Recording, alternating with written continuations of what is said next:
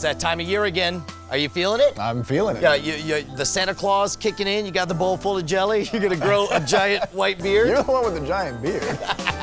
All right, David Rowyn, it is January, and you know what that means? It is my favorite time of the year because this is when we get to play Santa Claus. yep, uh, mystery boxes. At the end of every holiday season, we take a look at our inventory. We see we're overstocked on some stuff, understocked on others, and this is my favorite moment of the year when we make one promise give us some money, trust us, and we're gonna make you super happy and make you feel like you won the lottery. If we didn't, then backsies. Just send it back.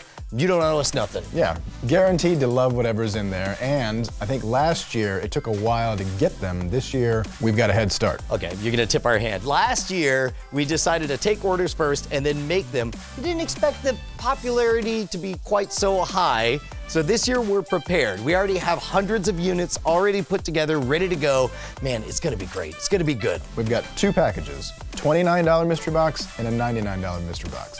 Each one of them is hand curated. My job is to play Santa Claus and just make whoever opens it extremely happy with You what look they got. like a Santa Hey, Claus. Well, I can't do the beard quite like you can, but the idea is that they get a lot of great stuff from the store while we get to clear out our inventories of overruns, overstocks, and misfits. Now, when you say misfits, that doesn't necessarily mean damaged merchandise. Not, no, I mean like, uh, for example, this wallet, I think the etching is on the other side of the wallet than it should be.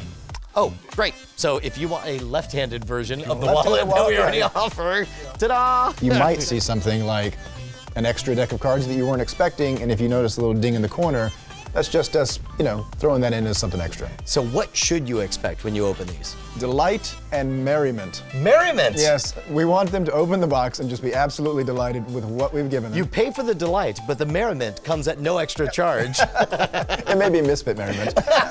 All right, so we're guaranteeing two things. Number one, when you open the box, you're gonna feel like you won, like you came out the winner of this exchange. And if that's not the case, then we'll make things right. 100% satisfaction guaranteed. If for some reason they're not delighted, Or, or experience the merriment. If you're like, I'm sorry, I experienced 50% merriment. let us know. We'll take care of them. Awesome, dude. I am so excited about this. Last year, this was one of our biggest campaigns of the year. My only regret is that it took so long for us to get everything out. But this year, we're on it, dude. We got it all figured out. We have presents waiting for you guys. All you got to do is head on over to scamstuff.com in the next five days. Hey guys, Brian Brushwood here. David Rowyn. it was great, actually. It was me that was just was reacting to it. He's Brian Brushwood. oh, there you go. He's Brian Brushwood. I'm Brian.